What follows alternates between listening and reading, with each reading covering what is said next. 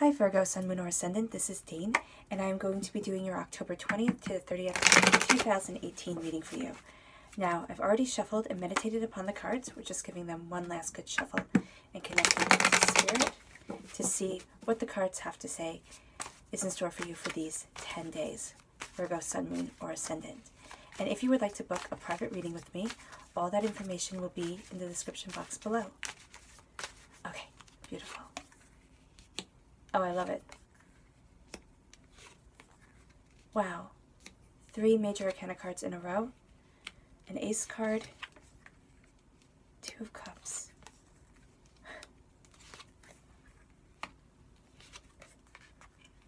And there you are, Virgo, Sun, Moon, or Ascendant, coming through as another major arcana card, as your major arcana card represents Virgo, which is the Hermit. So this is going to be a very powerful 10 days for you, Virgo, Sun, Moon, or Ascendant. We have three major arcana cards, an ace card, which is a gift card, well, as I read them, okay? And this is all about you seeing the truth of the matter. I mean, we have the High Priestess and we have the Hierophant, which I feel is an absolutely brilliant pairing, okay? They complement each, each other very well. And then we have the High Priestess and the Hermit, which is another absolutely beautiful pairing, depending on the books that you read or the readers that you talk to. They either say that the High Priestess and the Hierophant go together, are the pair, or the High Priestess and the Hermit. And the fact that you have both of them here is absolutely exquisite. Okay, so your first card here is the High Priestess. This means that you are following your intuition, you are following your instincts, and you're seeing things for how they truly are.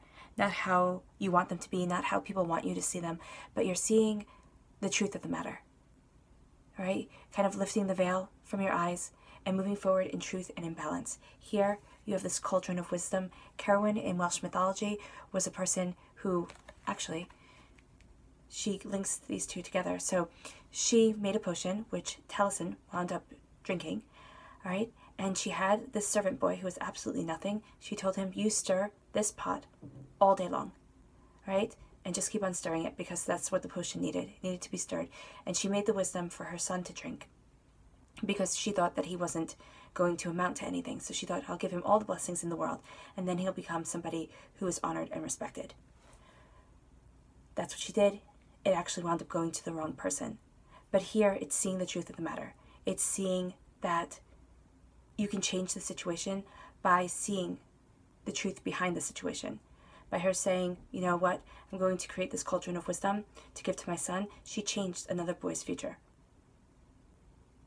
It happens in unexpected ways. That's the, the, duplicity of the high priestess or duality of the high priestess is that as you see things and as you move forward, embracing your wisdom, embracing your understanding, some of you might feel that the veil is being lifted from your eyes and that you're really seeing the truth of everything so much quick, so much more intently, intensely All right. So this could be that some of you are tapping into your own spiritual power and awakening yourselves as you move forward. And things might not turn out exactly the way that you had anticipated or expected, but they turn out the way that the universe needs them to be. Okay? So you're moving forward in your truth, you're moving forward in your understanding, and you're having the veil lifted from your eyes, embracing what you want from this world. And then you're getting a gift from God, Source Spirit, however you see the divine, the universe, of knowing your own mind of knowing your thoughts, of knowing your truth, of sitting there and saying, Yes, okay, this is what I want, this is where I'm going, and this is what I'm embracing in myself.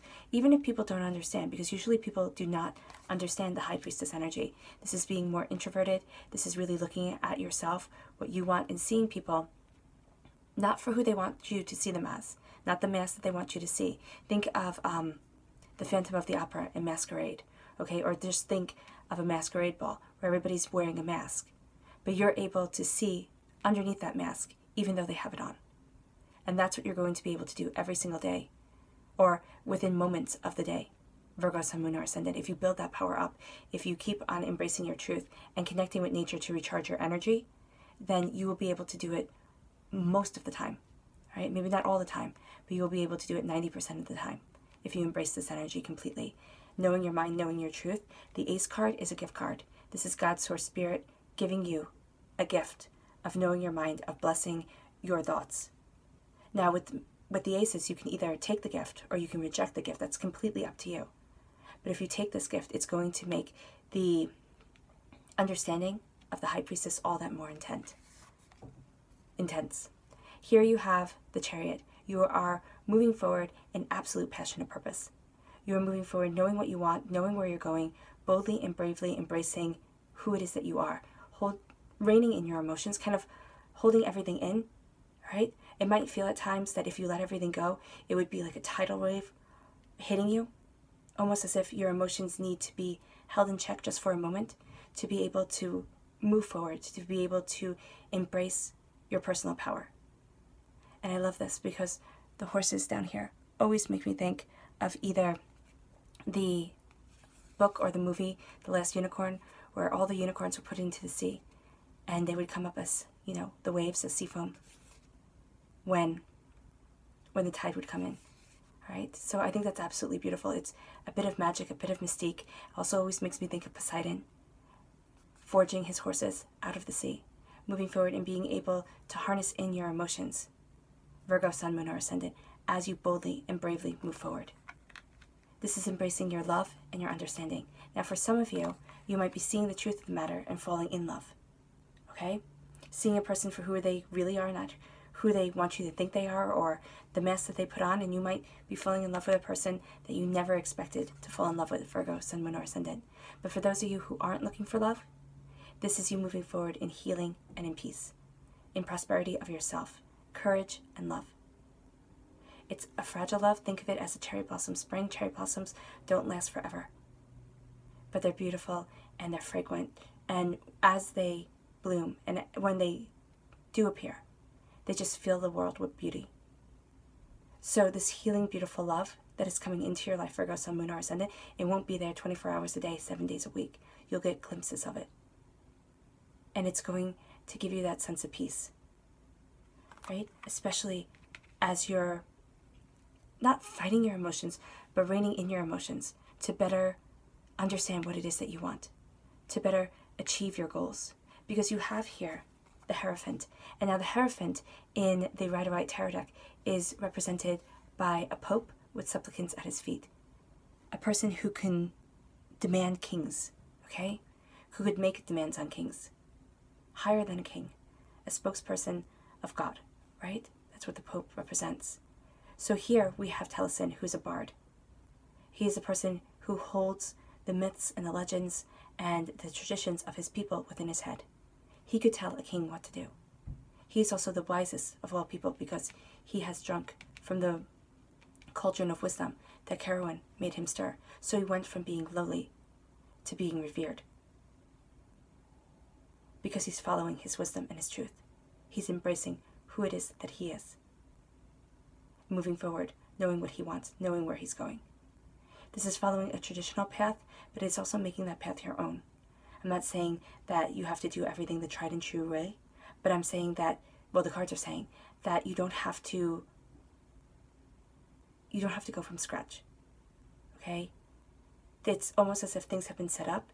It's as if, okay, if you wanted to publish a book, this isn't saying, you know, to write the book and then start handing it out to people on the street corner. This is saying that you could go through Amazon or you could go through a publisher or something like that. It isn't reinventing the wheel, it's using it to your advantage. It's seeing what works for you the best and then going after it. Same with music, same with even your job. Not doesn't have to be in the arts. Right? But this is using a pre-existing platform to best, best express what it is that you want from life and your talents and your understanding because you are astoundingly talented, for Virgo, Sun, Moon, or Ascendant. You have here the power of, a mind, of your mind and of your spirit that is absolutely beautiful. And you're moving yourself forward in passion and prosperity. As you guard what it is that you love, this is guarding your solar plexus, this is guarding your home, this is sitting there and having your feet firmly playing, planted on the ground and saying, This is what's important to me. This is what I want from life. And then getting it. Absolutely getting what it is that your heart desires and holding on to it. And this isn't letting the negativity, the doubts, the fears of everybody else come in to your personal space and knock you off course. Yes, it will happen. Yes, negativity from others, hard times, fights, they break you down, they wear you down, and they're exhausting. But this is saying that you pick yourself up, you protect yourself, not, uh, not being I want to say not being so sensitive, but it's not cutting yourself off from feeling. It's knowing your truth, Virgo, Sun, Moon, or Ascendant. Because from what I see in these cards here, is you're an astoundingly caring, feeling person who takes things in, right? And wishes to move forward in love. But by, by seeing the truth of the matter, you are getting emotions from people and you're getting knowledge from people that maybe is just a bit too intense. Okay? Or you're taking on their hurt, their sorrow. Grounding yourself, steeping yourself in traditions, even reading books that other people have written about the same situations that you are going through. All right? Or how to ground yourself, how to center yourself, how to cleanse your aura if you believe in that. You know, just a way to make it so that while as you're taking everything in, you can still boldly move forward, still rein in those emotions, and still protect yourself. Because protecting yourself is very important for Virgo, Sun, Moon, or Ascendant. You have here, as your clarifying cards, the Nine of Wands and the Hermit. This is you embracing you after a time of struggle, after a time of difficulty, after a time of having to defend your passions, your creativity, your choices. And you're feeling battered and bruised, your body might ache, you might feel as if you've been through a fight, even though what you have been through is probably more spiritual than physical. So you're defending yourself, you're defending the choices that you made or that you're making, okay, against people who don't understand, who don't see. Or why can't you do this instead of that? And what you're doing is you're putting that staff back in the ground and you're building and growing this fence between you and the world. Right? And you notice here how there are trees and they're sprouting. Well, these start as saplings and they grow into beautiful, strong trees. And the faster they grow is the more that you believe in yourself. The more that you believe in your energy, the faster these trees will grow and defend you as you turn inward, as you embrace yourself, Virgo, Sun, Moon, or Ascendant. As you embrace your passion, your creativity, your flexibility of mind and spirit, and you be true to yourself. Having the birth card of the Hermit means that you need to take quiet, contemplative time for you and that will help you move forward. That will help you embrace your truth. Okay. Give me one moment here. And I move these around. I do know readers who do do this and have been taught by them too. So if it doesn't ring true for you to move around the cards, then that is completely fine. But I do believe that, especially in a general reading, it does make things a little bit more clear.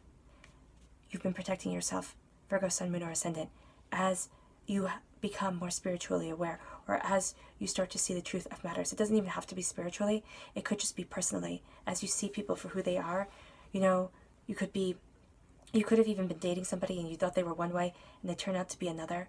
So, protecting your solar plexus, protecting your home, protecting what's important to you as you see the truth of things. And remember to connect with nature because that's going to recharge your battery. Moving forward boldly and bravely, embracing your passions and your creativity okay? Embracing what it is that you want from life and moving forward in love. Taking this gift of knowing your own mind and running with it. Make sure you take this Virgo, Sun, Moon, or Ascendant. It could be large, it could be small, but it's coming to you and it is empowering you in a way that lets you know that you are on the right path. It doesn't matter what other people say. Okay? As long as it rings true for you and you're keeping up with your responsibilities, you're able to take care of things, you're able, you know, to, well, adult properly, for lack of a better term, then you're fine. Or, you know, to keep with your studies, wherever it is that you are in life. You know, as long as you're showing up and as long as you're doing your best, these people here who are making it so they have to protect yourself and making you feel attacked, they don't matter. Even if they are your own family members, even if they do matter greatly to you. If they can't see your truth, then you kind of armor up Okay, see how you have your chainmail on here, and here you armor up and you keep moving forward, reining in your emotions. And the best, I had one reader say to me, she goes, the best thing to keep, uh, keep moving you forward is your anger at those who think you will not succeed. And I looked at her kind of aghast and I said, You know, anger is not appropriate. And she said, Anger is sometimes the best fuel in your existence. So you are moving forward knowing your desire, Virgo, Sun, Moon, or Ascendant, and achieving great things from it. Now, this does not mean, the Hierophant does not mean you will become a bard or a pope or you know, somebody who's absolutely revered in your field, but it means that you will rise to the highest of your ability and be, and be viewed with respect. Knowing your mind, your mind and your words are astoundingly important. Virgo, Sun, Moon, or Ascendant. And your subconscious message is the Two of Wands. You're moving forward in your passion. You're moving forward in your beauty, not only thinking about today, but thinking about the days, the weeks, the months, the years to come. Absolutely embracing your truth, absolutely embracing your bounty. Letting nobody take that from you. For those of you who are looking for love, because we have the Two of Cups and the Two of Wands here, the Two of Wands for me symbolizes that twin flame connection, that person who really resonates with your soul. You could be finding somebody who is absolutely wonderful that you wouldn't have even looked at if you hadn't started seeing the world differently and embracing your truth. Be strong and be brave and keep moving forward, Virgo, Sun, Moon, or Ascendant. There is nothing you cannot accomplish if you stay true to yourself. All right, I hope this reading has resonated with you. I wish you nothing but light, love, peace, and happiness. Bye.